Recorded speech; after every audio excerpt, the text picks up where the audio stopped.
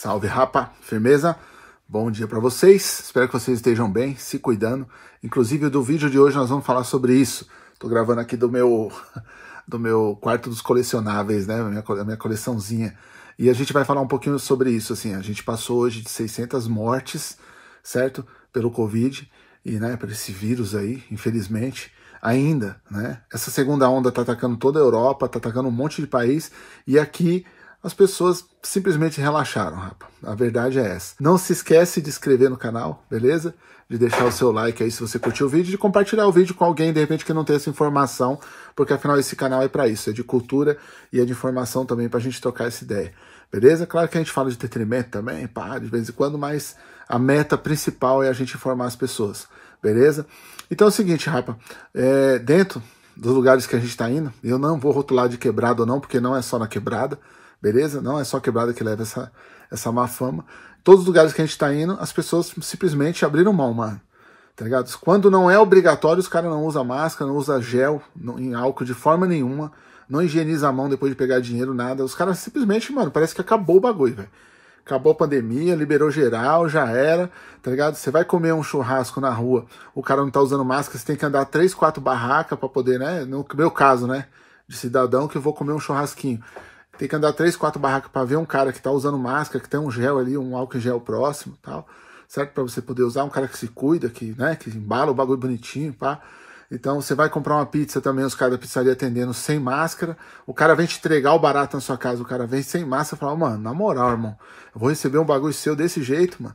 Então, é ou você fica sendo chato, vocês do outro lado podem me dizer aí, por favor, nos comentários, se vocês estão sendo chato dentro das quebradas de vocês, dentro dos lugares onde vocês moram, ou a gente tem que aceitar do jeito que tá. Eu, como não sou de aceitar nada, já sou anti-sistema, anti uma par de bagulho, tá ligado?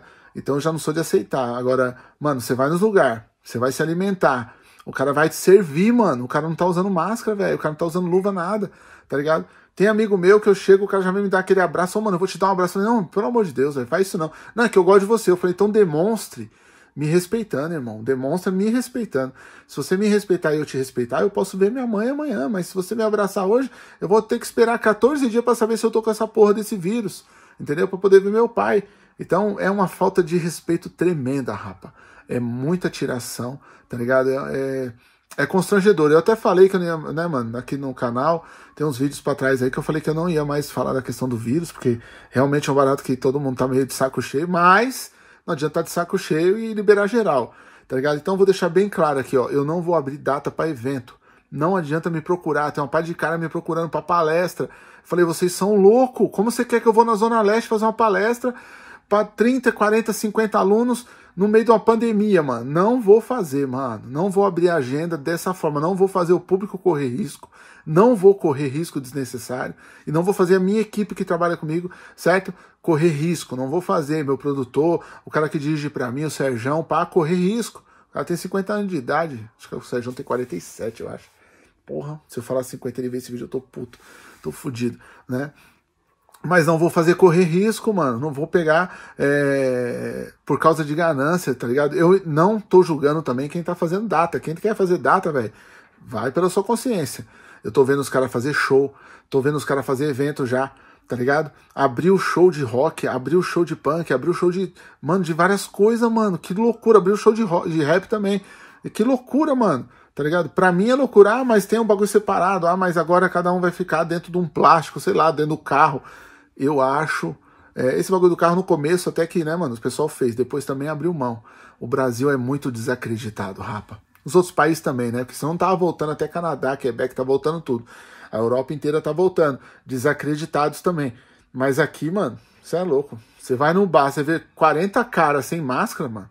Você tem como entrar no bar, você vai no restaurante. Você vê que tem a luvinha lá. Ninguém pega a porra da luvinha, mano. Puta que lá merda, o bagulho tá lá, velho. Tá ligado? O bagulho já é pra sua higiene. Você tá vendo o cara pá, com a máscara baixada na boca, com o nariz estampado, pegando comida na sua frente. Aí você fala, ô amigão, dá licença aí, mano. Tá, é, o que que foi, mano? É, que, que viagem. Viagem, irmão. Viagem é você, mano. Se cuida, mano. Tá ligado? Então a gente ainda tem que ficar. Claro, eu não tô restrito também mais, as pessoas não estão mais restritas. A maioria delas, né? Fui gravar esse de um programa. É via internet, né? Para entrevistar os caras, do outro lado da tela, os caras tava tudo lá, não, não saia 240 dias do apartamento. Eita porra! Aí também quando o cara saiu, o cara tá com problema neurológico já, né, mano? Quando sair de lá, o cara não sabe nem o mundo, tá? Vai ser que nem aquela música do Dexter, que saiu da, né? Quando ele tá saindo da penitenciária, pá, que os caras, que ele fala, mano, não reconheço as pessoas, as pessoas não se olham, não se cumprimentam. Vai ser igualzinho, o cara vai sair também, não vai nem reconhecer o mundão. Mas, rapa, vamos se cuidar, mano, que o bagulho ainda tá aí. Até essa vacina chegar, já estão falando em março do ano que vem beleza? E como vocês é um público que eu admiro muito, que eu respeito, que apoia a minha caminhada, eu não posso abrir data nem de lançamento. Não vou fazer nem o lançamento do Capão Pecado, nem do Ninguém Inocente São Paulo, que vai sair pela Cotter, nem o Capão Pecado que vai sair pela companhia, e nem a menina Ana, a Ana e o Balão, que vai sair pela Dark Side. Não vou abrir data, beleza? O que eu vou fazer atendendo a pedidos e a pedidos da loja Monstra, eu vou mandar os autografados para lá, tá ligado? Vou me cuidar, meter minha máscara, minha luvinha, vou autografar Vou mandar os autografados depois do Capão Pecado. A Monstra está negociando com a Companhia das Letras para receber esses livros dessa forma, que foi a forma que a gente fez com o Lourenço dentro da Comics, é, Comics Book, né? Eu ia falar Comics Zone, que é o nome da editora. Não, Comics Book.